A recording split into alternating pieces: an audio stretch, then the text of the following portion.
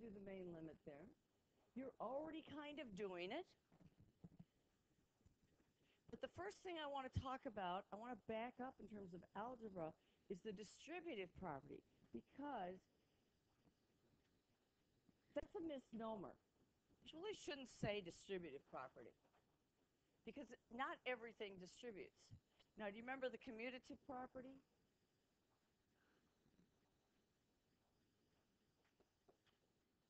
You know, A plus B is equal to B plus A, right? What if I have 3 minus 2 and 2 minus 3? Are those the same things? 3 minus 2 and 2 minus 3. Is that the same? No. Not the same. So subtraction, hey guys, pay attention because this is what gets you in trouble with exponents, is not commutative. Well, the problem is when we distribute, you think everything distributes. That's not true. If I have 2 times 3 plus 4, it's the distributive property of multiplication over addition. We're going to have distributive property in limits. So it's going to be a little bit different. What you have to realize, though, is that this property does not apply every single time. It only applies, in this case, multiplication over addition. So you can do 2 times 3 plus 2 times 4. Some of you saying, oh, I know that. That's true. I hope. Are those equal? Yes? No? Are those equal? But you get some answer. If you can't see, there's a couple spots up front. 2 times 7, because I'm writing big, 6 plus 8. Is that true? Yeah, that's true. Okay. Some of you want to do this. Can you distribute multiplication over multiplication? No, this is associative property. This is the same as 2 times 3 times 4. Arithmetic is a binary operation. You can do two things. That's it. So I can't go 2 times 3 times 4 all in my head. You may think you're doing that, but you're not. It's 2 times 12, which is 24, or else you're doing this, 6 times 4, 24. You might write the answer down without showing it. That's fine. Okay, in the back. I got to get a seating chart today, too. And you guys should have your name tags out so I can learn who you are. Well, when we do exponents, we have the same problem. And a lot of you want to distribute exponents over addition. You can't do that. Is this the same as 2 squared plus 3 squared? This is a common mistake.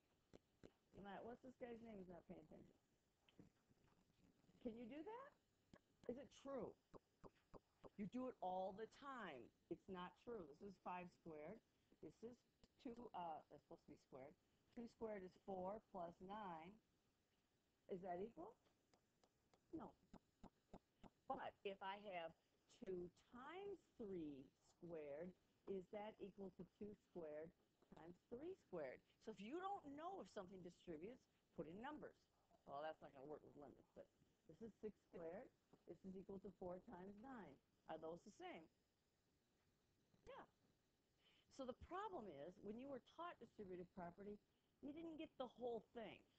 You didn't get of multiplication over addition, of exponents over multiplication, but not exponents over addition. Still, many of you are going to try to distribute exponents over addition. Can't do it. Distributive property does not work with every single operation. That's interesting. And that's, that's what mathematics is. When you go into college, you study math, you'll start studying those properties and when you can do things, when you can't do things, and then they invent some really crazy, weird things. Okay, so we're going to do limits. When do limits distribute? They do, which is really nice. And you've been doing it all along. You are not going to memorize this theorem. You're just going to do it. I'm not even going to go through the little steps where you do it, but you're automatically going to do it.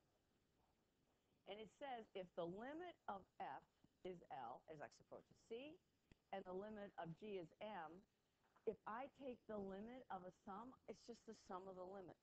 In other words, you can find the limit of f I'm going to shorthand the notation it here, plus the limit of g. Well, you've already been doing that.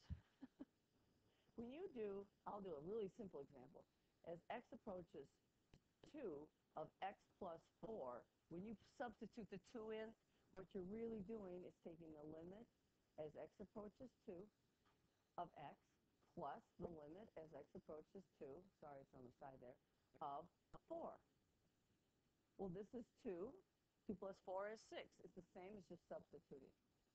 So guess what? Limits do distribute over sums, subtraction. They even distribute over multiplication. The reason why I did the distributive property. Because uh, multiplication does not distribute over multiplication. But limits do. We're going to do derivatives, and guess what? They don't, unfortunately.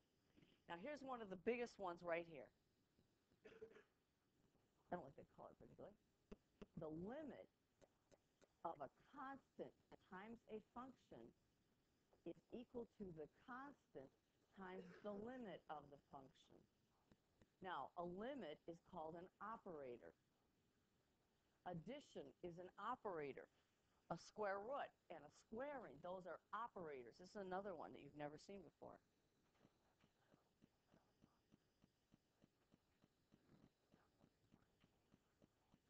No, that's an exponent, you're thinking. But it's, it's, it's like, we'll do it in derivatives too, and this is really going to be important that I can pull that constant out. You won't, you'll just do it. So if I take, let me give you a simple example. If I take the limit as x approaches 2 of 3x, guess what? I can pull the 3 out there and take the limit as x approaches 2 of x. Well, that's 3 times 2, which is 6. But you're not going to do that. You're just going to substitute 2 in there, and that's all there's going to be to it. So it's going to be easy. But later on, you're going to see some weird things, and you're going to want to be able to pull the constants out. Guess what? Limits distribute over division. This is also equal to the limit of f over the limit of g. Now, when you get into some homework problems, you might have to apply the properties because they don't tell you what the limits are. Here's the power rule. So if I have, let's put, put it in terms of something easier. Let's do the limit of x cubed as x approaches 2. You can rewrite that as the limit of x as x approaches 2 cubed. What's the limit of, of x as x approaches 2? It's 2. So it's 2 cubed, which is 8. Could you have just substituted in? Yes. That's the final rule that you can substitute in. Is that okay? You're not going to ever explicitly write down these properties. There's one condition on the properties. We're not going to worry about it so much this year. These rules only hold provided that the limits exist. Next year in BC Calculus, we're going to see what happens if the individual limits don't exist. The rules don't apply, but can you still find the limit? Yes, you can, sometimes, not always. Okay, that is a polynomial. It says, can you, you guys read it on your handout at least? A sub n x to the n. These n's, n's are not even integers, they are whole numbers.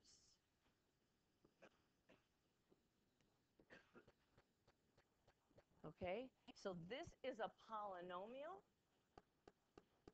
And what's nice about polynomials, I gotta write that, I knew it. I had that on my list last night, didn't get there. You're on the back side of the blue, uh, we on blue sheet, right? Yeah. Yeah, we did the pink one already. Mm-hmm. but it's online. I save it as a PDF. You can go and look at them. The blue one. Should be the theorem two, the back side. Am I correct? Okay, don't confuse me. I get confused easily. That's true, but you have to do, we're still in section 2-1. We're taking our time. Because this is the whole foundation of calculus. So you need to know what a polynomial is. And what po what's nice about polynomials, they're smooth. This is an x to the fourth. x to the third looks like this. Remember those? There's no breaks. Limits from the left equal limits from the right. Always. On a polynomial. So it's nice. And This is called, when you have a fraction, it's called a rational function.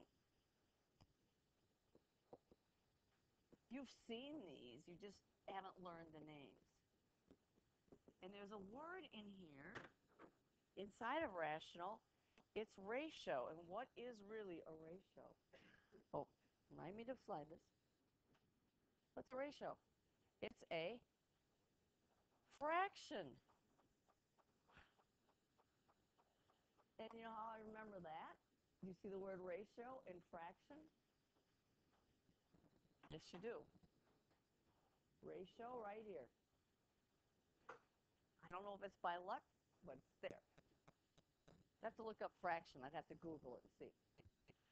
Okay. And they don't even have the big theorem, which is the substitution theorem. You always substitute. So you aren't going to go through all those details of breaking it down to the little parts. You're never going to do that. You'll worry about it at BC Calc. You'll have to worry about it there, but we'll worry about that next year. Okay, so the next part of the, what's left in this chapter, are the, whoops, that's not going to work, is it? Are the trig functions. Now we're going to use that main limit theorem a little bit. What happens when I substitute in 0 here? I get what? What's the tangent? Oh, okay, we forgot tangent of 0, didn't we? I get the tangent of 0, but I'm going to show you how you remember it. Because you have to know what the tangent function looks like. It looks like this. Where are those asymptotes?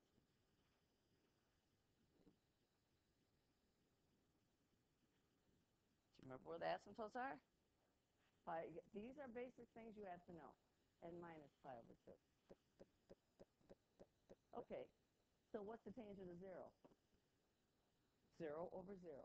So now I'm going to use an identity to change the tangent function. Now this is what's new for you in terms of what we're going to do here. It's the limit as x goes to 0, and the tangent is the sine of x over the cosine of x. And that's all over x. Now, the main limit theorem says that I can find the limit of each piece separately. I've got a little problem here. When I put 0 in, I get 0 over the cosine of 0 over 0. I'll draw the cosine function. What's the cosine of 0? What's the cosine of 0? 1. Ones don't give me any trouble. Which numbers give me trouble? Zeros, only the zeros. So it's okay. You know, I know some of the other teachers teach it a little differently. They do all sorts of flipping and stuff like that. I'm not going to do that. Evaluate out everything that's not zero, because there's not a trouble there at all. So this is not 0, this is 1. Well, I still get what? 0 over 0, but if I evaluate this, what am I left with? If this is 1, what am I still left with? That goes away, I'm left with what? Sine of x over. Remember, this is one you have to know. What is that? That's 1. You can't see in the back. There are seats in the front. no reason to be back there. X approaches 0? Yeah, that's x approaches 0. This little sloppy 0. Now, like I said, I, I like math because it tells me what to do. Are we ready for the next one? You always substitute it in. Let me rewrite it so it's a little bit bigger, but you have it on your sheet, right? One. What about this one?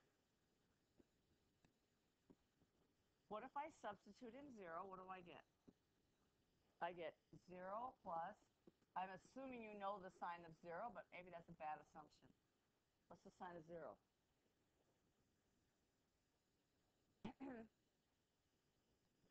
What's the sine of 0? It's 0. Okay, so that's 0 over 0. But I know my math, so I know what to do. I can't think of anything else to do. I don't know, have any identities for the sine of x. I'm stuck with that.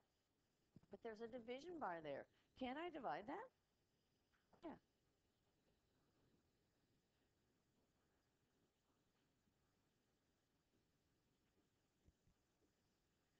It's x over x plus the sine of x over x. You must divide x into both of them, not just one. It's distributive property. Okay? Should be doing it with me. Everybody's pencil should be working. I'll, I'll slow down. Simplify that. What's x over x? Now remember, we're not at zero. You remember that, right? We'll do some Schoology quizzes. I might ask you that. What's the limit? Do we care what happens at zero? Do you care what happens at zero? Nope. So can I cancel these because we're not there? If we're at zero, I can't cancel. You're right. So it's the limit as x approaches zero. As long as we're not at zero, this is okay. This is 1 plus the sine of x over x. Now, I would just write the answer down. But this is new for you. So we're going to go ahead and distribute the limit because we can. Of 1 plus the limit of the sine of x over x. What's this limit? That's 1. What's this other limit? Oops, I forgot x approaches 0. It makes a difference. If x goes to infinity, it's a different matter.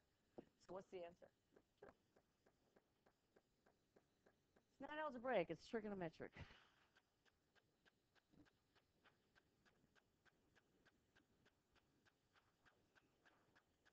Oh yeah, we can do these.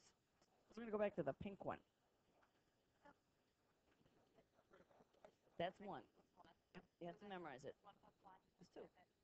Yeah. So now we're going to go back to your pink one. Which means I got to find it. Oh, I might. Well, I can start with a clean one. Okay, let's see what I can find this way.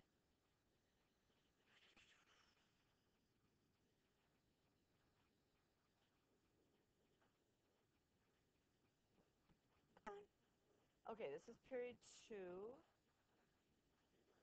See, let's say one. No, I don't want that. Oh, there it is. I don't know why you don't have one, but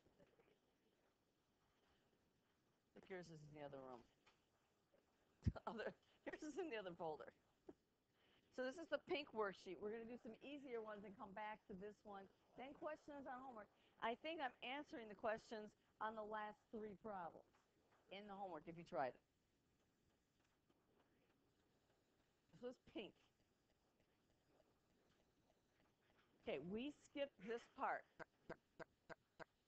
And if you remember, I said it's nice to be able to pull constants out. I guess the first thing is to realize what this is saying. This is really this limit. This is a pink worksheet. This is one third times the sine of x over x.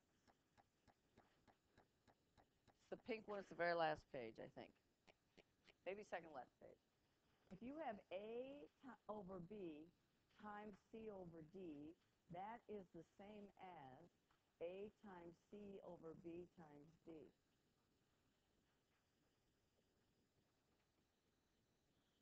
So I'm going to pause and give you a chance so that you believe what I just did.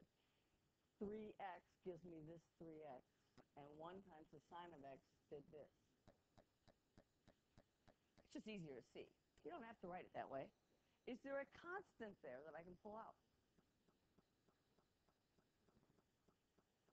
Is one third changing? No. This is a constant. Remember that property that you can pull the constants right out in front. So that that's equal to one third times the limit as x go, goes to zero of sine of x over x. What's this limit? One. So the answer is one third. It's just tricks. Knowing rules and tricks. You play football, you better know the rules. Play basketball, you better know the rules. Golf is very complicated. I'm on the rules committee for the MWGA. It's complicated, but I have to know the rules, and I have to know the definitions. In fact, that our uh, Mr. Holmeyer says, if you know the definitions, the rules are easy. And he's right. Okay, now, some of you want to pull the 3 right out of the sine of 3x. Guess what? Can you do that? Is the sine of 3x, you'll get the right answer, but I'm going to write it, mark it wrong. is that equal to 3 times the sine of x? Now, how tall does this get? 1. What does the 3 do? Just switches the period, right? How tall is this one? 3.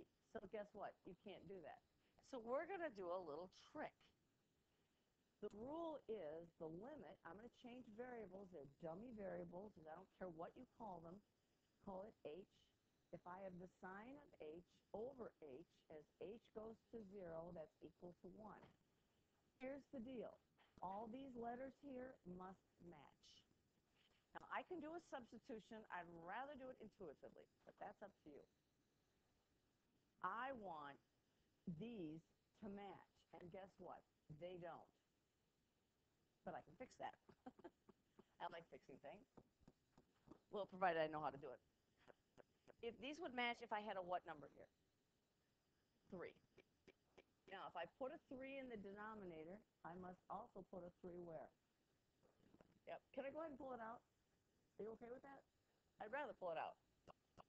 Now, if x goes to 0, does 3x go to 0? x is getting to be 0. If 3 times 0, is that going to 0 also? Yeah. So guess what this is?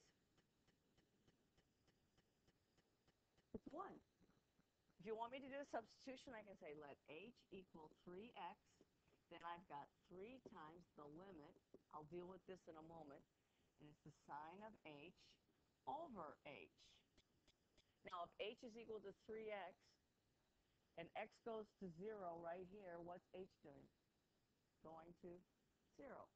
That's a lot of work.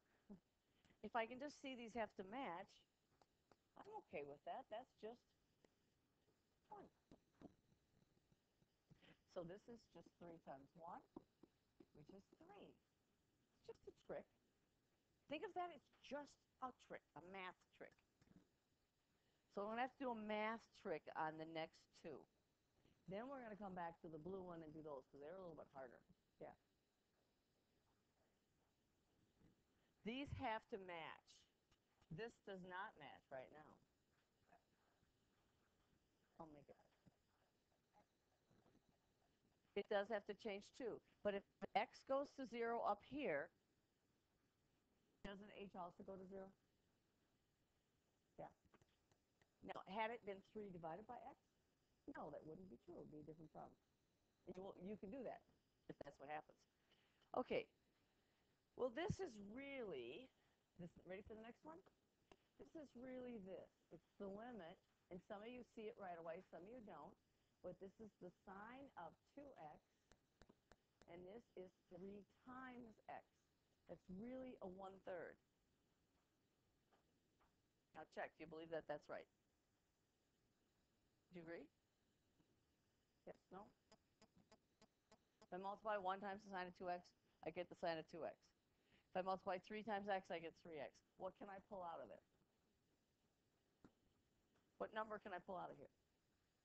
One third. You can pull a constant right out. That's the rule. You just have to know the rule. That's all. You don't have to know why, uh, don't even know what clipping is, but I can call it, but I don't know what it is. But you know, yeah, it don't, doesn't matter why. It is what it is. It's the rule. So I'm going to pull that one out. And so I'm going to have one third times the limit as x goes to 0 of the sine of 2x over x. There's two ways to do this problem. That's probably the easy way. If you put a 2 here, where else must I put a 2 to keep this equal? Out in front. One in the numerator, one in the denominator. What's this limit going to be? If if x goes to 0, doesn't 2x go to 0? Yeah. What is that equal to? 1. So this is 2 thirds. I'm going to show you the other way, which you aren't going to like, but okay, I have a 1 third. I have the limit as x goes to 0, because there's not always one way to do problems, of sine of 2x over x. Does anybody remember the one identity, one of the three I told you you had to know? This is one third. The limit as x goes to 0 And the sine of 2x, does anybody know what it is? Okay, this should be in the list of things you have to know. Sine of 2x is equal to 2 sine of x. That's wrong, because that's twice as big as that. But if you multiply by the cosine, then it works out. And I'm not proving it to you today. Probably could, but I'm not. So it's 2 times, whoops, 2 times the sine of x times the cosine of x all over x. What can you do with the 2? Can you pull it out? You guys get that? Can I pull it out? Sure I can. So I'm going to pull it out. It's okay to answer. and then I'm left with this limit. Let's go with the color. One, uh, sorry, it's two thirds. And it's the limit as x goes to zero, and it's the sine of x times the cosine of x. And for convenience sake, I'm going to put the x under the sine because I know that limit, and that's a 1. Do you believe those are the same things? Question. Let me finish this one first, and I'll come back to it, okay? What's this limit? Now, I could write this as the limit of this times the limit of the cosine, but I don't know about you. I'm just, I'm too lazy to do it. What's this limit? That's what? 1. What's the cosine of 0? 1. It's like using an identity. Now, to go back to your question about up here, the sine of 2x, I had 2x over x, so I put in the 2, but I multiplied the numerator by 2, so that's equal to what number? You can't pull this 2 out. No, because the sine of 2x does not equal 2 sine of x. You can't pull this 2 out. The only way to pull that 2 out is to do the way I did it. You have to have it what it's equal to. You'll get the right answer, but I'm going to mark it wrong because it's wrong. It's not just the 2 sine x, it's 2 sine x cosine x. So if I have the sine of 3x, I can't just pull that 3 out. This does not equal this. These things have to be equal. Sure, but I don't like to do that. It's work.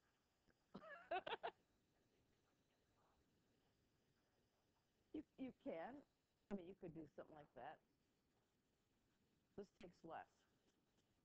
I put the 2 here, put the 2 here. My answer's 2 thirds. Two steps. Let's do, well, I got more. Let's do more. How about the tangent of x over the sine of x? Did we do that one? No, we, we want to like it, but not quite. Let's change the blue.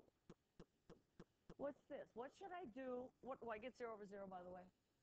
Yeah. What should I do to the tangent? Sorry. Sine of x over the cosine of x over the sine of x. It's complicated fraction. I know how to simplify it. I'm not convinced you guys do. okay, you guys ready? Let's go ahead and evaluate the cosine. Because it's not 0. If it were 0, I'd be in trouble. But it's not. That's 1.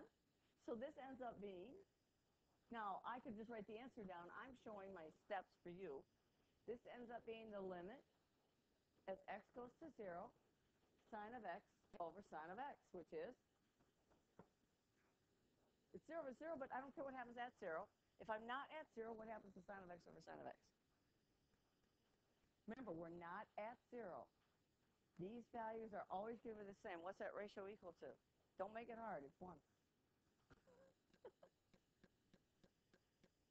okay, that finishes the pink sheet. We're going to go back now and do some harder problems that are on the blue sheet. Pink and blue for everybody in here. Yeah.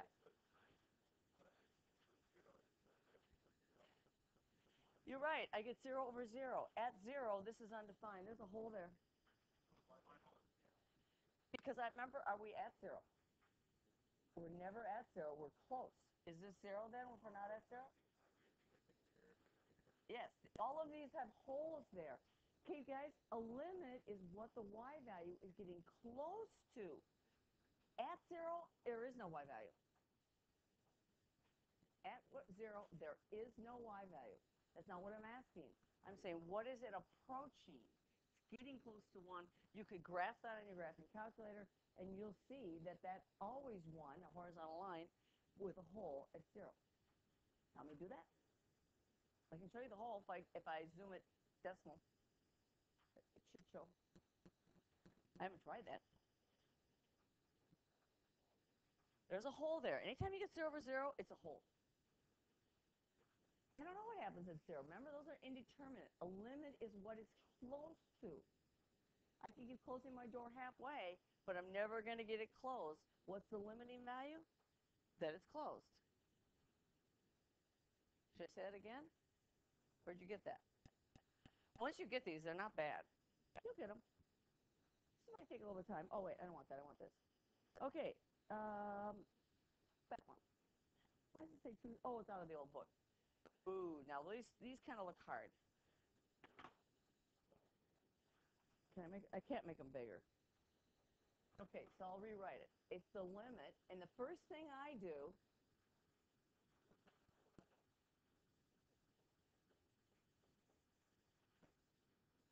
is I get rid of the constants. Just get the constants out. These are not constants, this 4x. This is part of the angle. 3 is just a plain old number. So I'm going to pull the 3 and put it out in front. Now, I'm also going to write this a little differently. I don't have to write it a little differently. You might not either, but I'm going to write it this way. Sine of 4x over 1 times 1 over the sine of 3x. And we're going to play this little game. It's a trick. Question? Do I get 0 over 0 if I substitute in 0? What's the sine of 0? Yeah, I get 0 over 0. Okay, anybody got an idea? What you would have to have here to make this limit become 1? 4x. It's a trick. Once you understand it's a trick, it's just a trick. I'm just changing the name of this a little bit. I'm going to make this 4x. Well, if I do that, I must make also this numerator 4x, correct? That's 4x. Now, what's this equal to? 1. So let me clean it up. Where are my regular pens? I don't know. so this is 3 times the limit as x goes to 0. And let's see, that's 1. And I have a 4x over sine of 3x. Can I pull any numbers out? This is equal to this. 3 times the limit of 4 times x over the sine of 3x. How about if I put parentheses there? Maybe that makes it a little easier. Are there any constants? This is not a constant. This is 3 times the angle, but is there just a plain old number here? Sure, 4.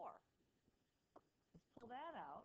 So that's going to give me 12, I'm going to slide this up, times the limit as x goes to 0 of x over the sine of 3x. What do you think has to be in front of that x?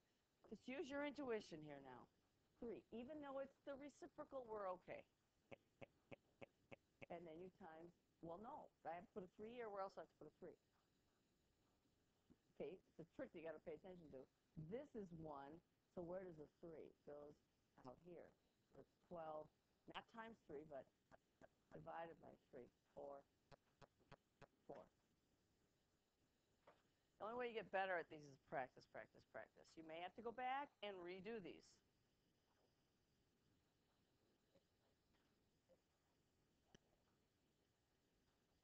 They aren't equal.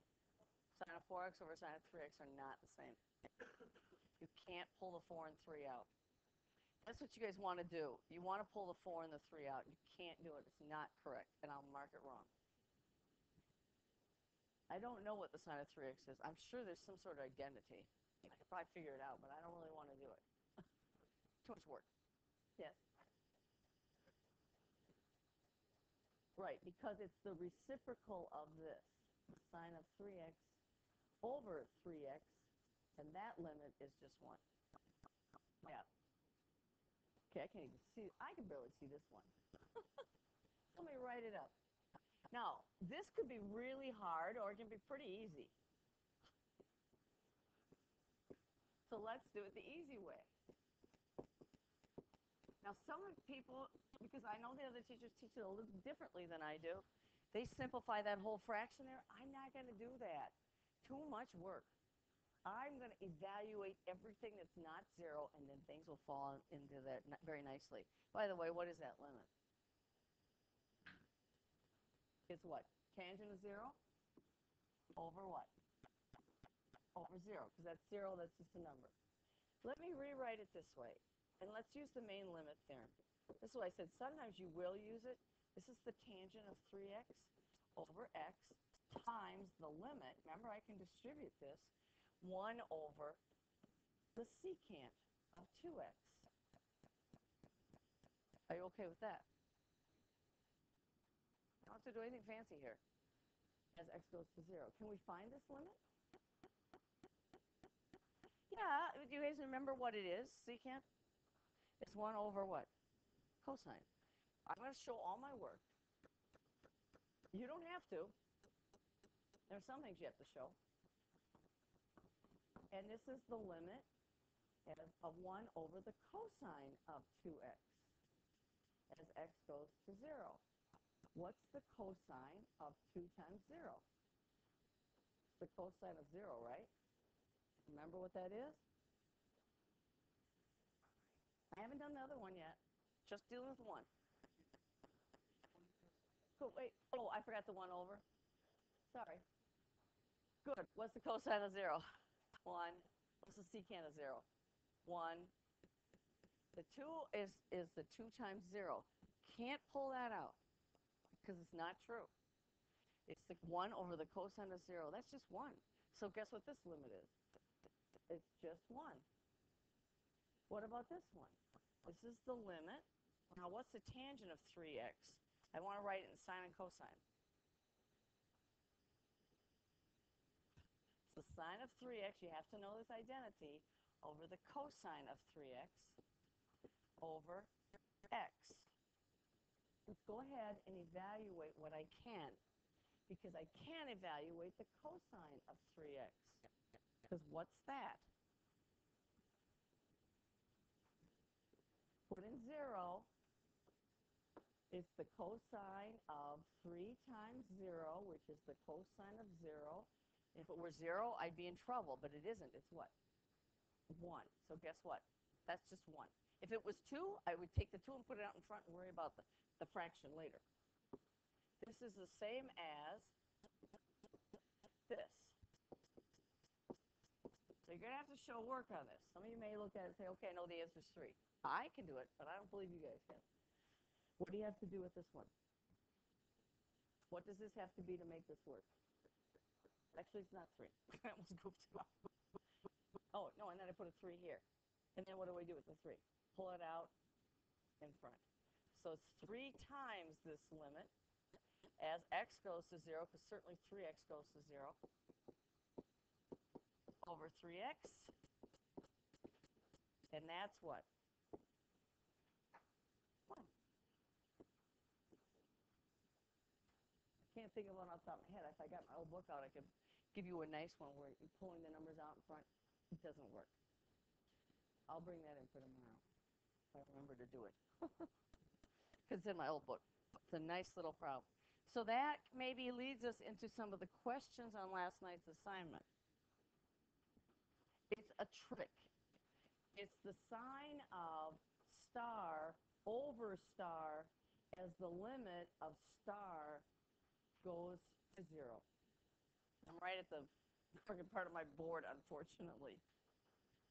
Amazing, I'm not talking bell to bell. Your assignment is on the assignment sheet. I don't believe that's changed. The assignments, now you're going to have to use your assignment sheet with Schoology. We have a calendar up there, but we don't write the problem numbers down. The assignment sheet is on Schoology. So if you lost your assignment sheet, you can go and look on Schoology and see what it is. Also, and I haven't done it yet, but I usually post it up there. So we are going to look at section 2.1 and your assignments to continue with whatever's on the assignment sheet. Ow. I'll go get my assignment sheet. We are going to have a quiz probably on Friday. which would be on this worksheet. By the way, where is my little folder? It didn't get very far. Put your folder in here. Put your your sheet in there. Um, I don't know. I got to look it up. Okay. We are on day three.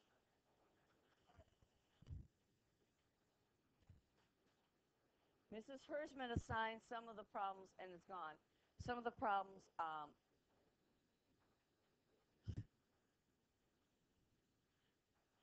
earlier than that. And so you may have some questions on some of those. Anything with 1 through 18. Did you do 18 okay? Did you do 18? I don't know if she signed it. I don't remember. Okay. You should be able to a problem like 18 because you're going to have one on the quiz. And then she assigned it. Oh, she only signed the odds. Maybe tomorrow we'll review and we'll do some of the other ones. Now I did 26. I did 28. How about 27 and 25? What about those? Yeah. This is the book. You had an assi- book assignment last night.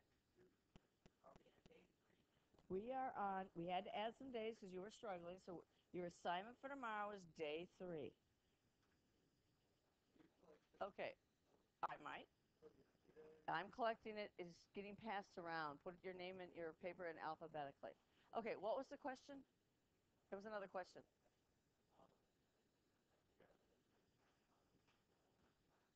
I did 37. That was part of your handout, one of your handouts. I did that one. You should be able to do 38. It says required 31 through 37. Well, 37 is already done in your notes. But do it again.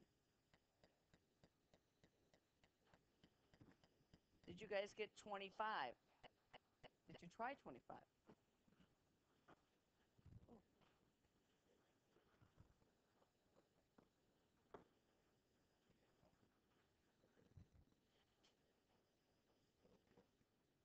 Now, just because we didn't assign a problem like 20 and 22 doesn't mean you don't know, have to know how to do them. You do. And we may have a question on 23. The reason why I know there's a question here is because somebody came in and asked me. Now, I may homework quiz you on the book problems. The worksheet's easy for me to collect. Make sure it gets around. Make sure you turn in your worksheet no matter what, even if it does, the book doesn't get to you. If you substitute in zero, you get zero over zero. Oh, and by the way, um, this is pre-calc, so yes, you did see the, the cubing last year. This is Mrs. Richardson's pre-calc classes. There it is. She's got it up on the board. Okay, I get zero over zero. And we can go back and do 23 if you need to. Okay, what can you do to this?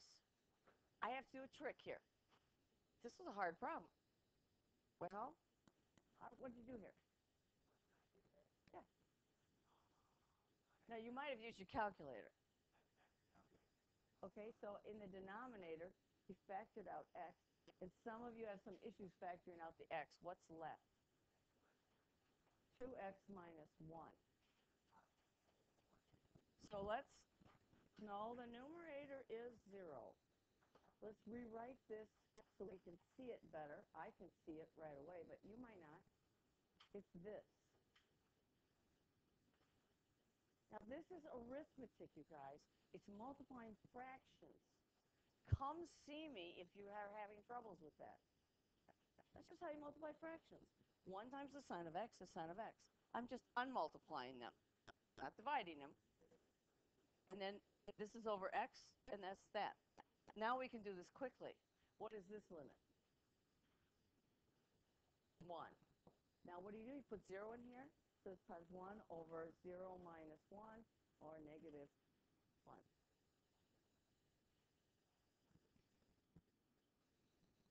So you really might have had some troubles with these because we hadn't talked about this. Not your fault. What about 23? Did you understand 23? Did you do 23? Did you get the right answer? Now, I don't have any answers in my book. Somebody took my book. First year we got this book. But the answer to 23 is 12. Correct? Do I need to do that? Solutions are on, should be online. I'm not sure about this. I'm not sure. Because Mr. Hersman changed the assignments. Did you guys get 27 okay? I, you know what? I've done all of these. 24, 26, 28. They're all done.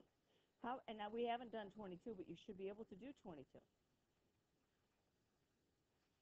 It's your time to ask me questions or else we have time to work. No questions. I'm waiting. Yes. waiting for somebody to do 23. Okay, if you got 23, you have time to work. Yes. Which one do you have a question on? Okay, well, let me do one thing one at a time. Question?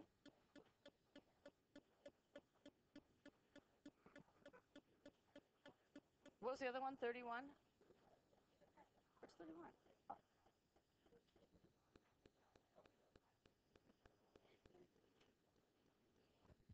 Okay, greatest integer function. You're going to have to know that. And remember, if it's that, that's a one-sided limit, so you're okay. Well, let's do this one. This is, she's got a, a plus b cubed. Oh, this is uh, not the one I have on the, now this is Pascal's triangle. It's 1, 3, 3, 1. And then it's a cubed, then it's a squared, then it's a, and then a to the 0. I'm not going to write it. Then, except I didn't leave myself enough space here. Sorry. Sorry, that's a squared. Now, the b's, this is b to the 0, so this is b to the first, this is b squared, and this is b cubed. And you just follow that little formula. So this is 2 plus x cubed. What's a equal to? 2, right? What's b equal to? X. Okay, so you're going to put 2 in there, and there, and over there. So you're going to get the limit. And, and make sure, remember I said I promised things would cancel. It's 2 cubed plus, hey guys, 3 times 2 squared times b, but that's x, plus 3 times 2, b is x, so it's x squared, plus x cubed, minus 8. What's 2 cubed? Oops. Yeah, no, I want that. 8. What happens to 8s? I promised. If you didn't do it right, it doesn't cancel. But it always will if you do it right. So I'm now going to simplify that numerator because it's pretty ugly looking. Well, that's 3 times 4. That's 12x plus 6x squared plus x cubed divided by x. Now, you could factor an x out, or you could divide x into each term. I don't care. I prefer to divide x into each term. Because here they'll cancel. Here you'll be left with an x. Here you'll be left with an x squared. I'm showing you an alternate way to do that. No matter how you do it, you got to get this. Now this is the calculus part. x is 0. So this is going to be 0, and this is going to be 12. Now, I did mine in my head. You can look at my book. I don't have any answers written in. I can go to the state fair and do this magic. I got big money. it's just a trick. You'll learn the trick, yes. What happened to the eights? They canceled. Did you forget this eight over here? Easy to do. Now let's look at 31. 31 is the greatest integer. Do not assume that you don't need to do the homework. You've not done this stuff before. Just because you watch it in class doesn't mean you're going to be able to do it on a test. And if you can't do it in the homework, what makes you think you can do it on a test? You can't. Now, you have to read these carefully, unfortunately. Now, remember, tomorrow's Wednesday, so I'm not going to be here in the morning. I have a meeting. You could look at that graphically, but it's asking for what is the greatest integer function doing when you come in from the right. Okay, give me a number close to zero. Okay, close to zero, but bigger than zero. Zero point zero zero zero zero one, right? I want the greatest integer less than or equal to that. What's that value? Zero. Don't make math hard. If it's non-calculator and you're doing a bunch of calculations, you've made it hard. Don't make it hard. If you are a non-calculator, you should not have a lot of calculations. Somebody on the exam last year did 16 to the fifth power. He actually was pretty close. I don't know if it's he or she. I can only go by handwriting. But then recouped his error and went back to 16 to the fifth power and wrote it that way. It was fine. But if he had just left it 16 multiplied out, I had to use my calculator. It was close, but he wasn't right. I would have had to take that point. So you can recoup your losses on that exam. If you make a mistake and you go, oh, I made a mistake, and you go back and fix it, you're fine. As long as it's clear that's what you've done. Are there other ones you want me to do? We still have a few minutes. Yeah, two. Two minutes. Yes. Yeah. No, there isn't. Especially the end ones. And on the end ones, you need to show your work. On those multiple choice problems? No, there aren't. No, the more practice is all optional. Remember, half hour outside of class. I know you have a life. I try to have a life. I don't really get one, but. and she didn't even assign those. Oh, 65 through 70. Yeah, there's work to do on those. If you look up the answers in the back of the book and mark A, B, C, D with no work, I mark it wrong. Same on the exam, you guys. You guys, same thing on the exam.